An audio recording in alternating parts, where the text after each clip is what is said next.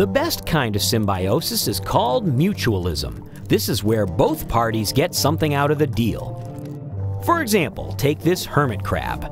She has a garden of small anemones on her shell that she carries everywhere she goes. The anemones give her protection from predators like octopus because their stinging tentacles pack a punch. But the anemones have a great life living on her shell because they gather some of the scraps from her messy eating and they travel around with her to the next meal.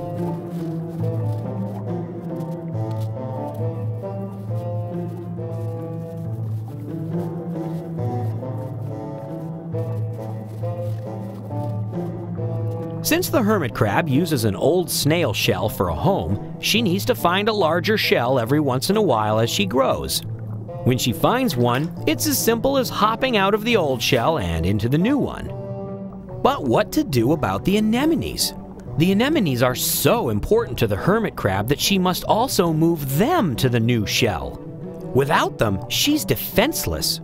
Slowly, with a combination of tapping on the anemones and peeling their edges, the hermit crab convinces them to release their grip. Only the crab knows how to coax the anemones into letting go. They will not submit to any other creature pulling on them. Once the anemone lets go of the old shell, the hermit crab deposits it on her new shell. She simply plops it in place and holds it until the anemone grabs on. The anemone will then crawl around on the shell and find a good spot all on its own, while the hermit crab turns her attention to working on the next anemone.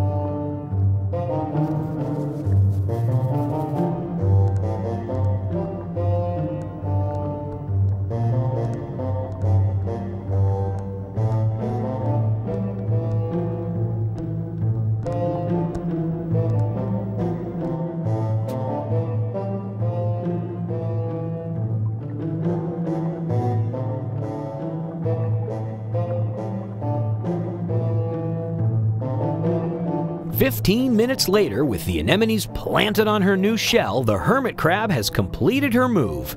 She leaves her old shell for the next hermit crab a bit smaller than herself.